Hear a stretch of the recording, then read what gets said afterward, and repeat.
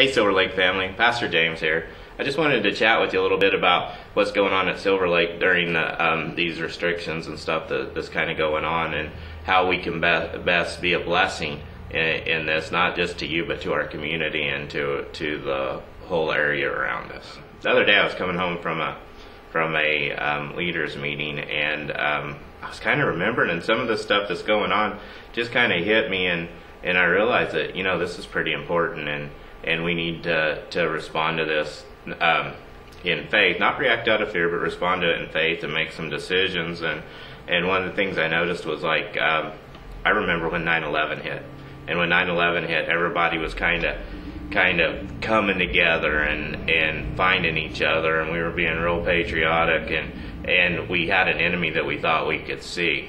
Now we're kind of facing another enemy, but this enemy we can't see, and this enemy's a little bit different.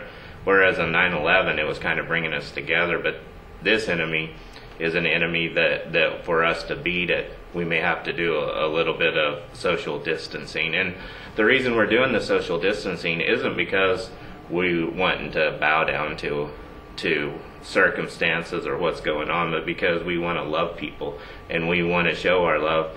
Um, one of the commandments is actually in the Shema, in in um, the every Jewish person has it on the side of their house, or where where in Hebrew it, it says, says Shema Israel Adonai Eloheinu Adonai Echad. Hear, O Israel, the Lord is God.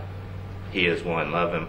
And then it says this: love Him with all your heart, with all your mind, and with all your soul, and love your neighbor as yourself. And I think for us in these times, we're making a decision to where we're going to go online with our um, services. We'll have them posted. We're going to film them early, and then we're going to post them uh, at um, 11 o'clock. You can find them on our website, which which will be up. You can see see that on the on the screen or um, on our Facebook page.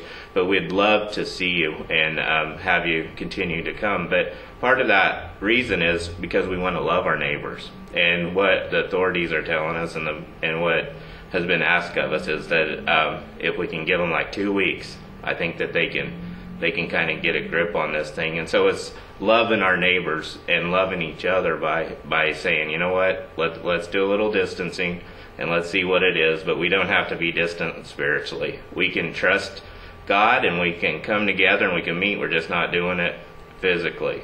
As far as our um, Sunday school and our Wednesday night services, we are working on a on a platform to get that up, which probably be like a Zoom or a RingCentral, and and um, we'll have more information coming to you on that. But again, if you guys need anything, let us know. How can we serve you? How can we help you?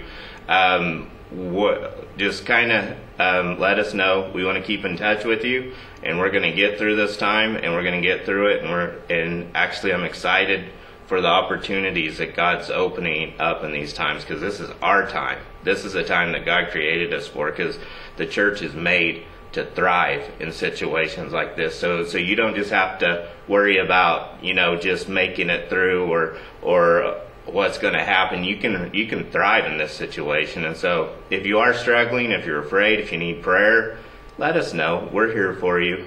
We love you and God bless you.